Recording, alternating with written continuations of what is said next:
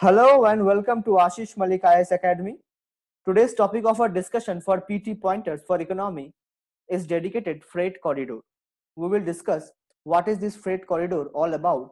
Along with that, we will discuss the dedicated freight corridor Corporation of India Limited. Before moving further, if you want to subscribe on Academy Plus, you can use the referral code Ashish Malik 10 to avail a 10% discount on the subscription fee. You can also follow us to social media platforms like Telegram and Instagram. Subscribe to our channel to get more updates of our latest ongoing series to boost up your UPSC preparation, like PT Pointers for Economy, Rapid Current Affairs, PT Pointers for Polity, the Hindu newsletter, UPSC Talks with Ashish Malik sir, and much more. Myself, Arnab, faculty for PT Pointers for Economy, PT Pointers for Polity, and Current Affairs. Let us begin with our discussion why this dedicated freight corridor was in news. Recently, Dedicated Freight Corridor Corporation of India Limited opened the first section of Western Dedicated Freight Corridor, the Rewari to Mother section. एक corridor है western dedicated freight corridor we will see all the corridors under this Dedicated freight corridor. उसका एक part है, ये western dedicated freight corridor. उसके अंदर एक section है रेवारी टू मदार। उसमें एक ट्रायल कंडक्ट किया गया for commercial train. Commercial train के लिए एक ट्रायल कंडक्ट किया गया by dedicated freight corridor corporation of India limited D F C C I L Now let us look into some details of this dedicated freight corridor.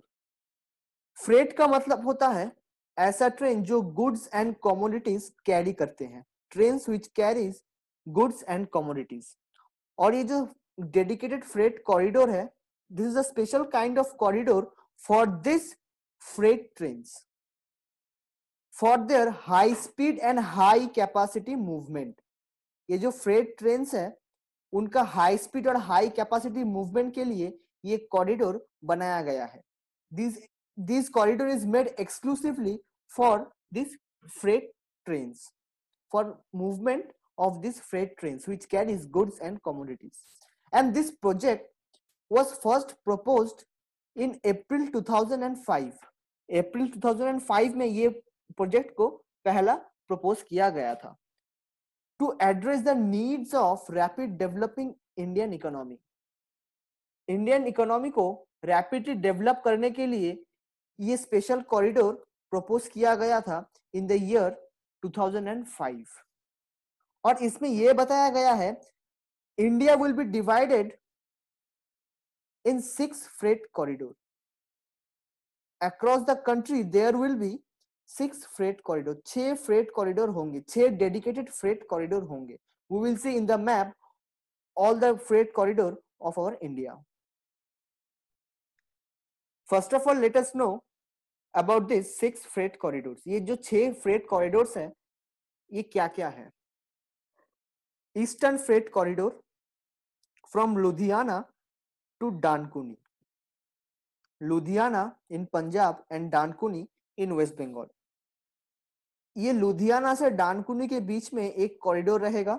उसको बोला जाएगा eastern freight corridor western freight corridor from Dadri to Jawaharlal Nehru port east west corridor Kolkata to Mumbai. North south corridor Delhi to Chennai. East coast corridor Kharagpur to Vijayawada. Southern Corridor, Chennai to Goa. We will see all of these corridors in the map and we will link why they are called so. now focus on the red mark here ये है Ludhiana in Punjab and this red mark is Dankuni in West Bengal near Kolkata Kolkata के करीब ही है डानकुनी, कोलकाता के पास है Dankuni in West Bengal ये दोनों red dot के बीच में जो रेड लाइन का रेलवे ट्रैक शो किया हुआ है this is known as the eastern corridor the eastern dedicated freight corridor Ludhiana to the Dankuni now focus on the blue mark here. In west bengal Dankuni के बगल में है कोलकाता। कोलकाता से यहाँ मुंबई। ये दोनों ब्लू डॉट के बीच से जो रेलवे ट्रैक निकला है from through this dark blue line the railway track which is shown this is known as the east west dedicated freight corridor इसे बोलते हैं ईस्ट वेस्ट, ईस्टर्न पार्ट से western part, east west dedicated freight corridor. From Kolkata to Mumbai. Now focus on the light blue dot the light blue mark here this is Kharagpur around 120 kilometre from Kolkata in West Bengal and this mark is the Vijayawada Kharagpur से विजयवाड़ा, ये जो blue mark से railway track show किया गया है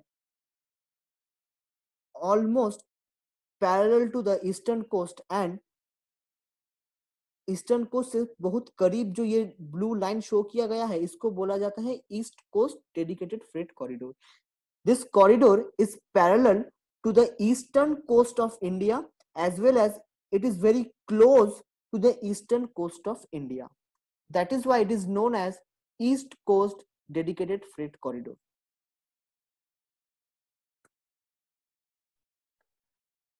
Now focus on this violet mark.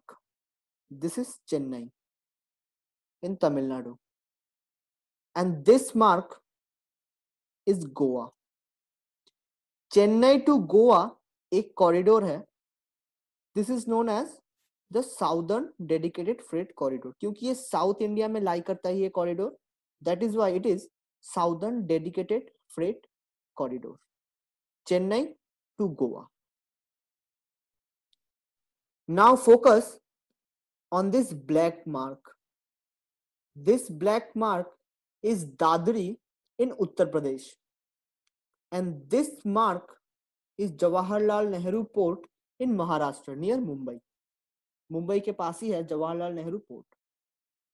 ये दोनों black dot के बीच से जो ये लाइट ब्लू कलर का ये रेलवे ट्रैक शो किया गया है this corridor this is known as the western corridor ये कॉरिडोर वेस्टर्न पार्ट में है।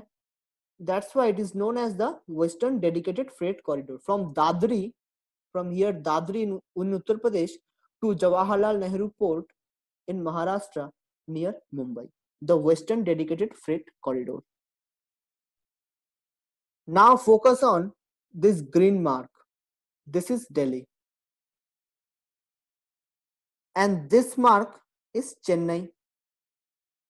Delhi से चेन्नई ये जो कॉरिडोर पास हो रहा है through this green mark is known as north south dedicated freight corridor इसे बोला जाता है north south dedicated freight corridor Delhi is in the North India and Chennai is in the South India, North South dedicated freight corridor.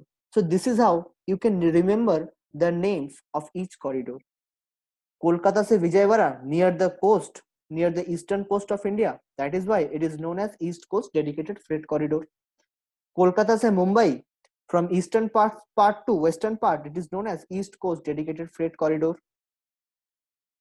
Chennai to Vasco, Chennai to Goa, it is in the southern part of India. It is known as Southern Dedicated Freight Corridor. Then Jawaharlal Nehru Port to Dadri in UP, it is in the western part. That is why it is known as the Western Dedicated Freight Corridor.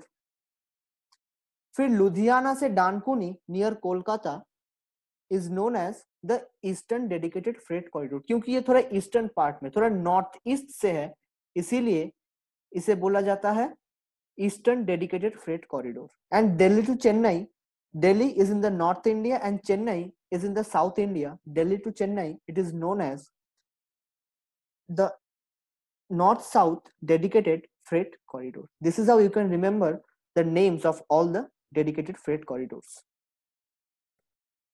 Now let us understand about this dedicated freight corridor corporation of india limited. This dedicated freight corridor corporation of india limited dfccil is created under ministry of railways. Ministry of railways ke under ye create gaya tha for planning and development mobilization of financial and construction resources maintenance and operation of DFC. ये जो dedicated freight corridor तैयार होंगे, इसके लिए एक planning चाहिए होगा, एक डेवलपमेंट प्रोसेस चाहिए होगा। इसको चेक करेगा ये डीएफसीसीआईएल। इस डीएफसी के लिए, इस डेडिकेटेड फ्रेट कॉरिडोर्स के लिए फिनेंशियल रिसोर्सेज का ज़रूरी है कंस्ट्रक्शन रिसोर्सेज का ज़रूरी है उसको मोबिलाइज करना पड़ेगा from one place to another place उस मोबिलाइजेशन के लिए ये डीएफसीसीआईएल रिस्पॉन्सिबल है। साथ ही साथ इन कॉरिडोर्स का मेंटेनेंस एंड ऑपरेशन के लिए ये डीएफसीसीआईएल रिस्पॉन्सिबल है। It is the duty of this DFCCIL for the maintenance and the operation of this freight corridor, of this dedicated freight corridor. And this dfccil is created under the Ministry of Railways. Now let us see some facts, some extra facts regarding this project. जो eastern dedicated freight corridor है वो 1800 kilometre long है from Ludhiana to Dankuni eastern dedicated freight corridor this is 1800 kilometre long और इसको control करने के लिए इस टोटल कॉरिडोर को ये 1800 स्ट्रेच कॉरिडोर को कंट्रोल करने के लिए प्रयागराज में एक ऑपरेशन कंट्रोल सेंटर बनाया गया है। मतलब लुधियाना से कोलकाता में कितने ट्रेन चलेंगे कौन कौन से टाइम में ट्रेन चलेंगे, कौन सा सिग्नल कहाँ पे होगा, कौन सा सिग्नल कब चालू होगा, कब बंद होगा, उसका पूरा जो डिटेल्स है, ये रहेगा प्रयागराज में ऑपरेशन कंट्रोल सेंटर के पास ये डिसाइड करेगा कि कैसे ट्रेन रन करेंगे इस कॉरिडोर के ऊपर। It is prepared by DFCCIL dedicated freight corridor corporation India limited and this operation control centre is the world second biggest operation control centre world का second biggest operation control centre है which is setup in Prayagraj by D F C C I L this is very important from prelims perspective. So this was all about the dedicated freight corridor and dedicated freight corridor corporation of India limited. Now let us do some mock questions. Consider the following statements regarding dedicated freight corridor corporation of India limited. Statement 1 it has been set up with 100% equity by Ministry of Railways. Statement 2 it is registered as a company under Companies Act 1956. Which of the above statements is or are correct? Option A, only one. Option B, only two. Option C, both. And option D, none. Now you can pause the video and write your answer in the comment section. The statement one states that it has been set up with 100% equity by Ministry of Railways. The statement one is true. इसका जो 100 percent equity है, ये है ministry of railways के पास। Ministry of railways has 100 percent equity for this dedicated freight corridor corporation of India limited so the first statement is correct second statement states that it is registered as a company under companies act 1956 the second statement is also correct this dedicated freight corridor corporation of India limited is registered as company under the Companies Act of 1956. The second statement is also correct. So the correct option will be option C, both. I hope you like the lecture. In the next lecture, we will continue with the infrastructure programs. Till then, stay safe, stay at your home. Don't forget to subscribe the channel, like the video and share the video. Thank you. Jai Hind.